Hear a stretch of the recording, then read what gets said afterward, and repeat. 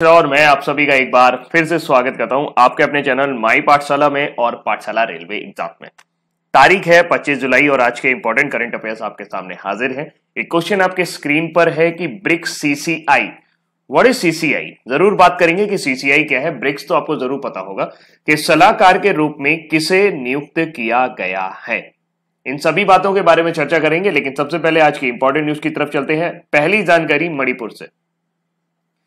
मणिपुर से जानकारी क्या है कि प्रधानमंत्री जी ने मणिपुर में एक जल आपूर्ति परियोजना की आधारशिला रखी है। अगर आपको थोड़ा सा याद हो तो जल जीवन मिशन का नाम आपने सुना होगा।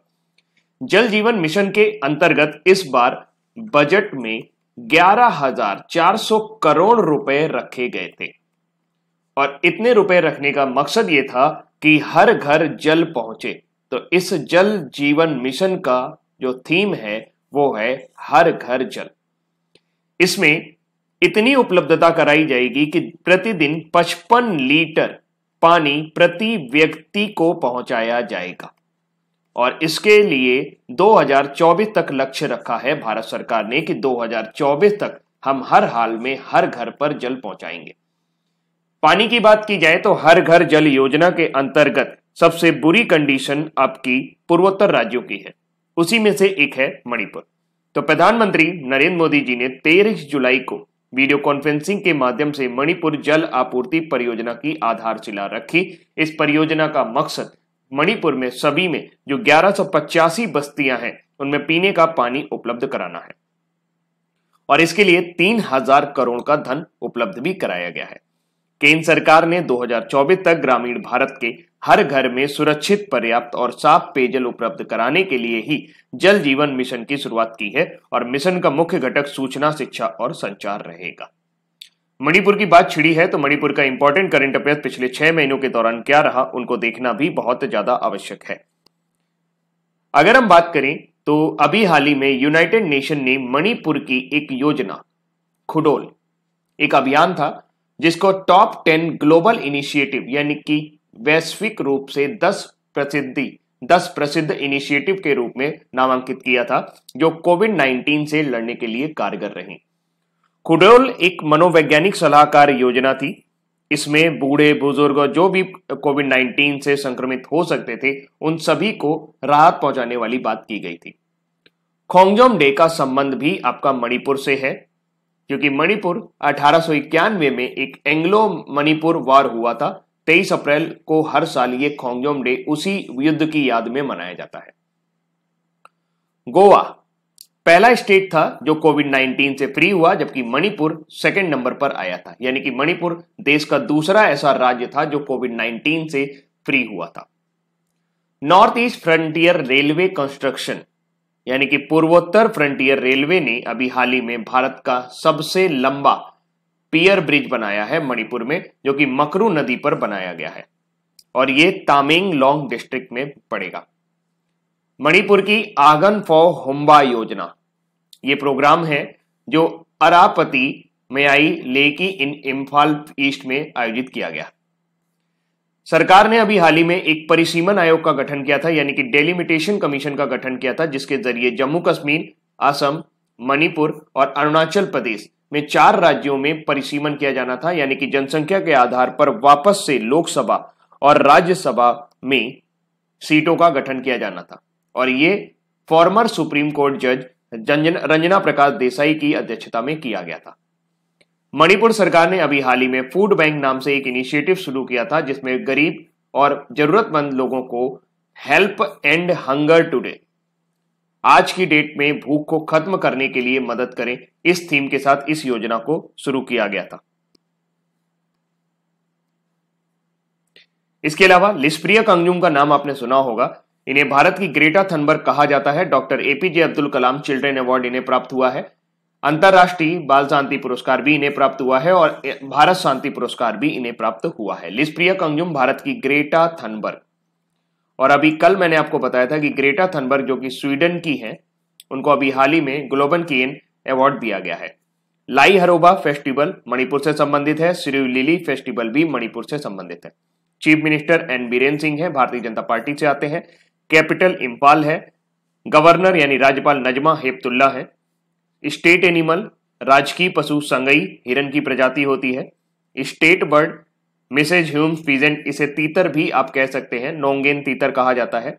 स्टेट फ्लावर, लिली का फूल। स्टेट फ्लावर है, जिसे लिलियम मैकलीनिया कहा जाता है। स्टेट ट्री, फोइबी हेंसोमा या बॉन्सम का फूल, यहाँ पर मणिपुर का एक वृक्ष है। उसे मणिपुर में बॉन्सम कहा जाता है, मणिपुर की लैंग्वेज में।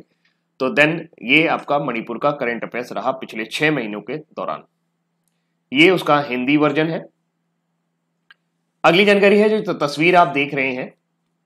ये करंट अफेयर्स बहुत ज़्यादा इंपॉर्टेंट नहीं है, लेकिन आपकी नज़र में ज़रूर होना चाहिए, क्योंकि आप डेली करंट अफेयर्स करते हो। कल कोई मुझसे पूछ रहा था कि, सर, मैं अगर आपका करंट अफेयर्स करता हूँ, क्या मुझे इसके अलावा और कुछ करने की ज़रूरत है? देखिए, आप चीज़ों को अगर याद रख पा रहे हैं तो आपको कुछ और करने की ज़रूरत नहीं है। आप रेगुलर ये देखते रहिए, आपका करंट अफेयर्स कंप्लीट हो रहा है, क्योंकि मैं डेली बेसिस पे आपको जो करंट अफेयर्स करा रहा हूँ और जब कोई भी एग्ज़ाम पास में आता है तो मैं मंथली और four monthly current affairs six monthly current affairs भी देता हूँ तो वो ज़रूर आपको मिलेगा। फ़िलहाल हम भटक गए अपने विषय से। सिंगापुर में अभी हाल ही में उनसठ वर्षीय भारतीय मूल की नर्स हैं कला नारायण स्वामी। इनको नर्सों के लिए राष्ट्रपति पुरस्कार से सम्मानित किया गया है।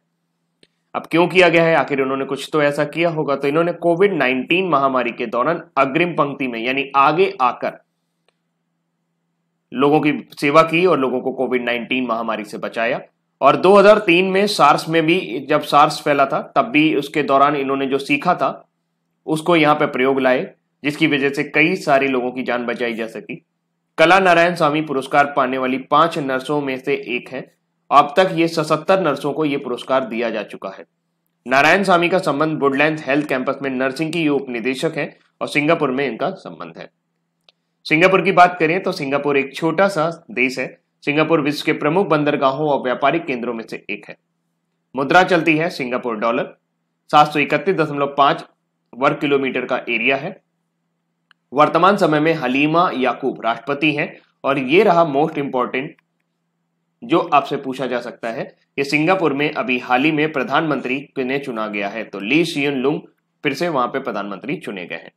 मैप में इसकी स्थिति आप देख सकते हो। अपना इंडिया यहाँ है। लेटर सपोज़ मैं यहाँ पर हूँ तो यहाँ से चलूँगा नॉर्थ ईस्ट डायरेक्शन में बे ऑफ़ बंगाल होते हुए। यहाँ से जाऊँगा, ऊपर ये ग्रीन कलर का मलेशिया है, नीचे साइड पे इंडोनेशिया है।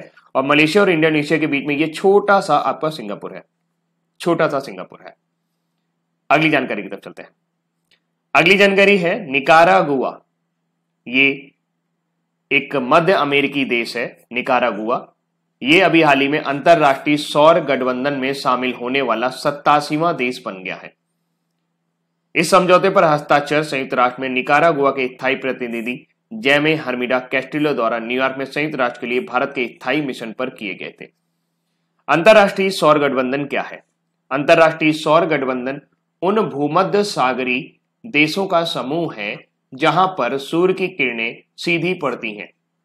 भूमध्य सागरी कह रहा हूँ सॉरी विश्ववती देशों का। भूमध्य सागरी निकलना मेरे से। विश्वतीय देशों, यानी कि इक्वेटोरियल पर जो पड़ते हैं, जो भी इक्वेटर पर पड़ते हैं, जहाँ पे सूर्य की किरणें सीधी पड़ती हैं, पृथ्वी के ठीक बीचों बीच तो यहाँ पर जो भी कंट्री है, उन सभी का ये संगठन है। और इस संगठन की शुरुआत नवंबर 2015 में पेरिस में संयुक्त राष्ट्र जलवायु परिवर्तन सम्मेलन में प्रधानमंत्री नरेंद्र मोदी और फ्रांस के पूर्व राष्ट्रपति हॉलैंड द्वारा संयुक्त रूप से किया गया था। उन्होंने कहा था कि ये जो देश हैं, जो भी आपके यहाँ पर पड़ते हैं, भूमध्य रेखा पर पड़ते हैं, भूमध्य रेखा पर जो भी देश पड़ते हैं, उन सभी पर सूर्य की किरणें सीधी पड़ती हैं। और यहाँ पर हमें एक ऊर्जा का वैकल्पिक स्रोत मिलता है सूर्य के रूप में। क्यों ना हम इनका प्रयोग करें और एक अलायंस बनाएँ और एक दूसरे को सहायता दें ताकि इस ऊर्जा का अच्छे से प्रयोग किया जा सके। या पेरिस जलवायु समझौते के कार्यान्वयन के लिए एक प्रमुख वैश्विक पहल भी रही जिसमें सौर ऊर्जा इकाइयों को तेज़ी से स्थापित करने की कल्पना की गई, ताकि हमारा जो निर्भरता है पन विद्युत, जो पानी वाली विद्युत है, जल विद्युत पर कम हो जाए। 6 दिसंबर 2017 को यह गठबंधन एक संधि आधारित अंतर सरकारी निकाय बन गया है। इंटरनेशनल सोलर अलायंस एकमात्र अंतरराष्ट्रीय संस्था है या अंतरराष्ट्रीय निकाय है, जिसका की मुख्यालय भारत में है। आईएसए का मुख्यालय आपका गुरुग्राम में है। गुरुग्राम गुरुग्राम यानी कि गुड़गांव में इसका मुख्यालय आपको देखने को मिलेगा। यह है एक्टर सोनू सूद। एक्टर सोनू सूद वर्तमान समय में छियालीस वर्ष के हैं, पंजाब के लुधियाना के रहने वाले हैं और कोविड 19 के दौरान सोनू सूद और उनके एक दोस्त नीति गोयल की हैश टैग घर भोजो पहल के तहत कई प्रवासी मजदूरों को घर भेजा गया था। और ये भगवान की तरह नज़र आए थे लोगों को। कई सारे देशों, कई सारे राज्यों के राज्यपाल ने इनकी तारीफ़ की थी, कई सारे अभिनेताओं ने भी इनकी तारीफ़ की। लोगों ने इन्हें फ़िल्मों का विलेन माना, लेकिन ये वास्तविक जीवन में हीरो के रूप में उभर के सामने आए। बॉलीवुड अभिनेता एक बार फिर से सामने आए हैं, जिन्होंने सोनू सूद ने अब हो है रोज़गार की बारी। जिन प्रवासियों को घर भेजा था, उनका डेटा का इस्तेमाल करके उन्होंने एक ऐप डेवलप करवाया है, जिसका नाम रखा गया है प्रवासी रोज़गार ऐप। इस ऐप में 500 से अधिक निर्माण, परिधान, स्वास्थ्य सेवा, इंजीनियरिंग, बीपीओ, सुरक्षा, ऑटोमोबाइल ई कॉमर्स और लॉजिस्टिक सेक्टर की प्रतिष्ठित कंपनियों को नौकरी के अवसर उपलब्ध होंगे, जहाँ पर प्रवासी मजदूर खोज कर सकेंगे अपना रोज़गार। इसके अलावा प्लेटफॉर्म रोज़गार के लिए विशिष्ट प्रशिक्षण कार्यक्रम जैसे अंग्रेज़ी बोलना सीखना भी चलाया जाएगा। साथ ही इसके लिए 24 घंटे की एक हेल्पलाइन के साथ साथ सहायता केंद्र दिल्ली, मुंबई, बेंगलोर, हैदराबाद और कोयम्बटूर अहमदाबाद, तिरुवनंतपुरम सहित सात शहरों में स्थापित किए गए हैं। तो आप देख सकते हैं कि सोनू सूद एक नया ऐप बना के लेके आए हैं। उनका नाम है प्रवासी रोज़गार ऐप। और इसमें ऐसा नहीं है कि उन्होंने ये खुद करा है। कई सारी सामाजिक संस्थाएँ हैं, कई सारे एनजीओ हैं जिन्होंने मिलकर ये किया है, कई सारे अधिकारियों ने भी इसमें योगदान दिया है। लेकिन इस तरह की पहल में सोनू सूद का सामने आना एक अच्छी बात है। तो प्रवासी रोज़गार ऐप किस अभिनेता ने लॉन्च करवाया है, ये है सोनू सूद। अगली जानकारी है, छत्तीसगढ़ में गोधन न्याय योजना, बड़ी विवादास्पद योजना रही, जिसको आखिरकार ये लॉन्च हो ही गई है। गोधन का मतलब होता है गोबर। छत्तीसगढ़ के मुख्यमंत्री भूपेश बघेल ने गोधन न्याय योजना की शुरुआत कर दी है, जिसकी घोषणा उन्होंने एक महीने पहले की थी। गोधन न्याय योजना के अंतर्गत छत्तीसगढ़ सरकार पशुपालकों से दो रुपए प्रति किलोग्राम की दर से गाय का गोबर खरीदेगी और उसे आठ रुपए प्रति किलोग्राम की दर से कंपोस्ट में बदलकर, यानी कि क्रमिक खाद में बदलकर वापस किसानों को बेच देगी।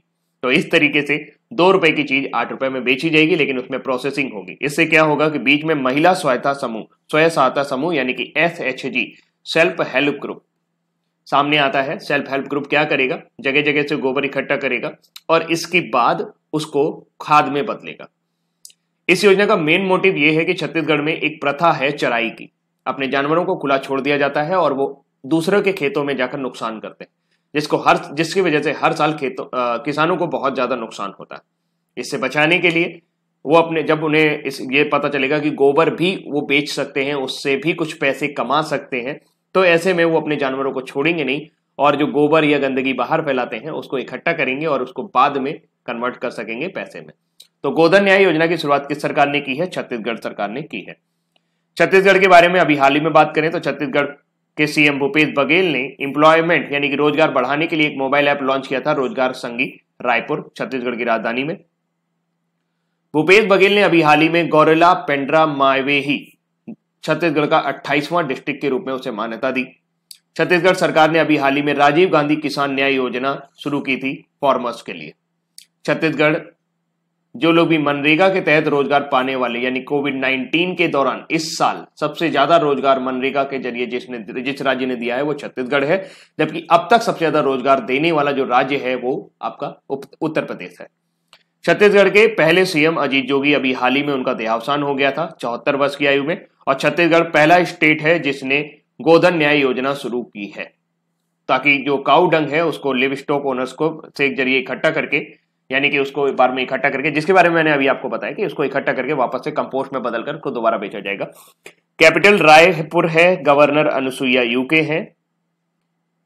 चीफ मिनिस्टर है Bhupesh Baghel, Indian National Congress से आते हैं। स्टेट एनिमल, यानी कि राजकीय पशु है, वाइल्ड एशियन बफेलो, जंगली भैंसा। स्टेट बर्ड है, हिल मैना, पहाड़ी मैना। National park Indravati, Kutru national park, ये काफ़ी इंपॉर्टेंट है। कांगेर वैली नेशनल पार्क, गुरु घासीदास जिसे संजय नेशनल पार्क भी कहा जाता है, ये आपको छत्तीसगढ़ में देखने को मिलेंगे। लोकसभा में 11 सीटें हैं और राज्यसभा में पाँच सीटें आपको छत्तीसगढ़ से देखने को मिलती हैं।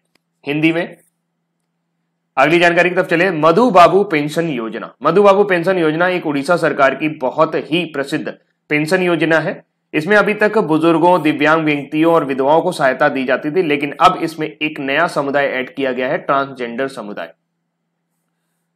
मधुबाबू पेंशन योजना यानी एमबीपीवाई राज्य सरकार द्वारा शुरू की गई एक सामाजिक सुरक्षा योजना है। उड़ीसा सरकार की इस योजना के उद्देश्य से निराश्रित बुज़ुर्गों, दिव्यांग व्यक्तियों को पाँच सौ रुपए, सात सौ रुपए, नौ सौ रुपए की पेंशन प्रतिमा दी जाती है। लेकिन इसके लिए एक शर्त है कि लाभार्थियों की जो वार्षिक आय है वो चालीस हज़ार रुपए से किसी भी तरीके से ऊपर नहीं होनी चाहिए। मधुबाबू पेंशन योजना का संबंध किससे है? इसका संबंध आपका उड़ीसा से है। उड़ीसा के मुख्यमंत्री नवीन पटनायक। अगली जानकारी है, यूनियन मिनिस्ट्री अमित शाह जी वृक्षारोपण करते हुए नज़र आ रहे हैं। चित्र ज़रूर देख लिया करिए तो आपको याद हो याद रहेगा ज़्यादा देर तक। वृक्षारोपण अभियान 2020 शुरू किया है 23 जुलाई को। इस अभियान के तहत कॉलोनियों, खानों और कार्यालयों में पेड़ लगाए जाएँगे। यह आभासी कार्यक्रम 130 से अधिक स्थानों पर एक साथ शुरू हुआ। 10 कोयला और लिग्नाइट प्रभावित राज्यों अड़तीस स्थानों पर फैले हुए हैं। इनको इको जोन में बदलने के लिए यहाँ पर हरियाली लाने के लिए इस प्रोग्राम की शुरुआत की गई है। इस अभियान के तहत अमित शाह ने छह इको पार्क और पर्यटन स्थलों का उद्घाटन और शिलान्यास भी किया। इस अभियान का आयोजन कोयला मंत्रालय द्वारा किया जा रहा है। सभी कोयला और लिग्नाइट पीएसयू इसमें शामिल होंगे। और इसके तहत बड़े पैमाने पर सार्वजनिक क्षेत्र के उद्यमों की कॉलोनियों, कार्यालयों, खानों साथ साथ कोयला और लिग्नाइट से जुड़े उन अन्य उपयुक्त क्षेत्रों में भी वृक्षारोपण किया जाएगा, जहाँ पर भी हरियाली की जा सकती है। आखिर ऐसा देखा जाता है जहाँ पे माइनिंग ज़्यादा होती है, वहाँ पे पेड़ पेड़ पौधे ज़्यादा नज़र नहीं आते हैं। अगली जानकारी ब्रिक्स देशों से जुड़ी हुई। साहिल सेठ, ये क्वेश्चन आपकी स्क्रीन पर था। साहिल सेठ का नाम ज़रूर याद रखिएगा। इन्हें ब्रिक्स चैम्बर ऑफ़ कॉमर्स के युवा नेताओं के लिए, ब्रिक्स चैम्बर्स ऑफ़ कॉमर्स के युवा नेताओं के लिए संचालन समिति का मानव सलाहकार नियुक्त किया गया। वैसे वो मुंबई के कस्टम्स के डिप्टी कमिश्नर है। ब्रिक्स सीसीआई का लक्ष्य दुनिया भर के युवा उद्यमियों, खासकर एमएसएमई सेगमेंट के लिए एक सक्षम समर्थन प्रणाली तैयार करना है, किसी तरीके से इनको सपोर्ट करना है। तो चैंबर्स ऑफ़ कॉमर्स इंडस्ट्री के मानव सलाहकार नियुक्त हुए साहिब से। मानव सलाहकार समिति का जो काम होता है, वो ये होता है कि ब्राज़ील, रूस, भारत, चीन और दक्षिण अफ्रीका, जिसे ब्रिक्स कहा जाता है देशों में खुद को व्यवस्थित करना और ये देश तीन साल की समयावधि के लिए इस समिति की अध्यक्षता करते हैं।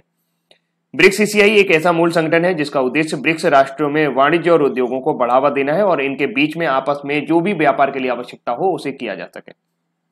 ब्रिक्स की बात करें तो एक नई न्यूज़ अभी आपको ज़रूर याद रखनी चाहिए कि ब्रिक्स के एक ब्रिक्स का जो बैंक है, जिसे न्यू डेवलपमेंट बैंक कहा जाता है, अभी तक इसके महासचिव के कामत थे, लेकिन अब इसके महासचिव होंगे मार्कोस ट्रोइजो। जो कि ब्राज़ील से बिलोंग करते हैं। ब्रिक्स उभरती हुई राष्ट्रीय अर्थव्यवस्थाओं का एक समूह है। इसमें अभी पाँच देश शामिल हैं। B, R, I, C, S. इन देशों के नाम से ब्राज़ील, रशिया, इंडिया, चाइना और Sri Lanka. Sorry South Africa S for South Africa तो इसमें संस्थापक देशों में चीन, भारत, ब्राज़ील और रूस थे। फिर बाद में इसमें साउथ अफ्रीका भी शामिल हो गया था। लेकिन इंपॉर्टेंट बात यह है कि ब्रिक्स देशों की जो बैठक होती है, जो सदस्यता होती है, जो अध्यक्षता होती है, वो क्रमानुसार इसी से होती है B R I C S से। जैसे 2019 में जो बैठक हुई थी, वो ब्राज़ील में हुई थी। 2020 की जुलाई में होनी थी रशिया में थोड़ा सा टाल दी गई। आई की फिर मतलब इंडिया का नंबर आएगा, फिर चाइना का नंबर आएगा, फिर साउथ अफ्रीका का नंबर आएगा। ब्रिक्स की स्थापना जून 2006 में की गई थी, जबकि न्यू डेवलपमेंट बैंक की स्थापना 15 जुलाई 2014 को की गई थी, और इसका मुख्यालय संघाई चीन में है, न्यू डेवलपमेंट बैंक का। अगली जानकारी न्यूज़ फटाफट के फॉर्म में। 23 जुलाई इंपॉर्टेंट डे ये बाल गंगाधर तिलक और चंद्रशेखर आज़ाद दोनों की जयंती है। दोनों ही अपने अपने स्थान पर महान, लोकमान्य तिलक, भारतीय स्वतंत्रता संग्राम के पहले लोकप्रिय नेता थे। बाल गंगाधर तिलक ने ही सबसे पहले ब्रिटिश राज के दौरान पूर्ण स्वराज की मांग उठाई थी। उन्होंने वर्मा में जेल में रहते हुए महान किताब गीता रहस्य लिखी थी। जबकि महान क्रांतिकारी चंद्रशेखर आज़ाद का जन्म 23 जुलाई 1906 के दिन अलीराजपुर जिला भावरा गाँव में पिता पंडित सीताराम तिवारी और माता जगरानी देवी के यहाँ हुआ था। National Broadcasting Day is observe at twenty July. प्रत्येक वर्ष 23 जुलाई को राष्ट्रीय प्रसारण दिवस मनाया जाता है। 1927 में आज की ही दिन देश का पहला रेडियो प्रसारण हुआ था। एक निजी कंपनी, इंडियन ब्रॉडकास्टिंग कंपनी के तहत बॉम्बे से हुआ था। फिर 1930 में सरकार ने इस कंपनी को अपने नियंत्रण में ले लिया और इसका नाम रख दिया भारतीय प्रसारण सेवा। 8 जून 1936 को भारतीय प्रसारण सेवा को ऑल इंडिया रेडियो नाम दिया गया और 1956 में इसे आकाशवाणी का नाम भी दिया गया। वर्तमान में आकाशवाणी के 414 केंद्र हैं जो 23 भाषाओं और एक बोलियों में प्रसारण उपलब्ध कराते हैं। तो नेशनल ब्रॉडकास्टिंग डे 23 जुलाई चंद्रशेखर आज़ाद जी की जयंती 23 जुलाई, और लोकमान बाल गंगाधर तिलक की जयंती 23 जुलाई। अब बारी है आज के हमारे वन लाइनर की। किस भारतीय मूल की नर्स को कोविड 19 सेवाओं के लिए सिंगापुर के राष्ट्रीय पुरस्कार से सम्मानित किया गया है तो उनका नाम है कला नारायण स्वामी। राष्ट्रीय प्रसारण दिवस निम्न में से किस दिन मनाया जाता है 23 जुलाई को? और मिनिस्ट्री ऑफ़ कोल ने अभी हाल ही में यानी कि कोयला मंत्रालय ने अभी हाल ही में वृक्षारोपण अभियान का आयोजन किया। साहिल सेठ को चुना गया है ब्रिक्स सीसीआई के लिए सलाहकार के रूप में। और 2024 तक केंद्र सरकार ने टारगेट रखा है कि प्रत्येक ग्रामीण भारत के हर घर में सुरक्षित पर्याप्त और साफ़ पेयजल उपलब्ध कराया जाएगा और इसके लिए जल जीवन मिशन की शुरुआत की गई है। 11,400 करोड़ रुपए इस साल बजट में आवंटित किए गए हैं। 55 लीटर प्रति व्यक्ति का मानक तय किया गया है। ये कुछ ऐसे पॉइंट हैं जो डेटा हैं जो आपको ज़रूर पता होने चाहिए। किस बॉलीवुड अभिनेता ने प्रवासियों को पूरे देश में नौकरी के अवसर तलाशने में सहायता करने के लिए प्रवासी रोज़गार ऐप लॉन्च किया है तो वह है सोनू सूद। हाल ही में किस राज्य ने गोधन न्याय योजना शुरू की? छत्तीसगढ़ के मुख्यमंत्री भूपेश बघेल द्वारा। हाल ही में किस राज्य सरकार ने राज्य में रहने वाले ट्रांसजेंडर समुदाय के सभी समुदायों को मधु बाबू पेंशन योजना में शामिल किया? उड़ीसा। बाल गंगाधर तिलक और चंद्रशेखर आज़ाद की जयंती कब मनाई जाती है? तेईस जुलाई को। और अंतरराष्ट्रीय गठबंधन, सौर गठबंधन फ्रेमवर्क के समझौते पर हस्ताक्षर करने वाला सत्तासीवा देश कौन सा बना है? तो वो है निकारा गुआ गणराज्य मध्य अमेरिकी कंट्री है। अब बारी है आज के हमारे क्विज की। क्विज की बात करते हैं तो वृक्षारोपण अभियान का आयोजन किसने किया है? तो अभी हाल ही में मिनिस्ट्री ऑफ़ कोल ने इसे आयोजित किया है। राष्ट्रीय प्रसारण दिवस निम्न में से किस दिन मनाया जाता है? हर साल तेईस जुलाई को। आज ही के दिन पहला ब्रॉडकास्ट हुआ था। ब्रिक्स सीसीआई के सलाहकार के रूप में हाल ही में किसे नियुक्त किया गया है? साहिल सेठ को। किस भारतीय मूल की नर्स को कोविड 19 की सेवाओं के लिए सिंगापुर के राष्ट्रपति पुरस्कार से सम्मानित किया गया? उनका नाम है कला नारायण स्वामी। केंद्र सरकार ने कब तक? 2024 तक ग्रामीण भारत के लिए हर घर में सुरक्षित, पर्याप्त और साफ़ पेयजल उपलब्ध कराने के जल जीवन मिशन की शुरुआत की है। किस बॉलीवुड अभिनेता ने प्रवासियों को पूरे देश में नौकरी के अवसर तलाशने के लिए प्रवासी रोज़गार ऐप लॉन्च किया है? तो वो है सोनू सूद। हाल ही में किस राज्य सरकार ने गोधन न्याय योजना की शुरुआत की? तो ये है छत्तीसगढ़। हाल ही में किस राज्य में मधु बाबू पेंशन योजना को शामिल किया गया है? ट्रांसजेंडर समुदायों को। तो ये एक पेंशन योजना है जिसमें 500, 700, 900 रुपए की प्रतिमा पेंशन प्रदान की जाती है। तो हाल फ़िलहाल मधु बाबू पेंशन योजना उड़ीसा से संबंधित है। बाल गंगाधर तिलक और चंद्रशेखर आज़ाद जी की जयंती कब मनाई जाती है? हर साल तेईस जुलाई को। अंतरराष्ट्रीय सौर गठबंधन फ्रेमवर्क समझौते पर हस्ताक्षर करने वाला सत्तासीवा देश कौन सा है? तो वो है रिपब्लिक ऑफ़ निकारागुआ तो दोस्तों, ये थे आज के हमारे इंपॉर्टेंट करेंट अफेयर और कल मैंने पूरा दिन इंतज़ार किया आपके 2000 लाइक का बट वो नहीं हुए। कोई बात नहीं, आज फिर करने की कोशिश करिएगा, होंगे। तो फ़िलहाल आज के लिए इतना ही। Thank you so much bye bye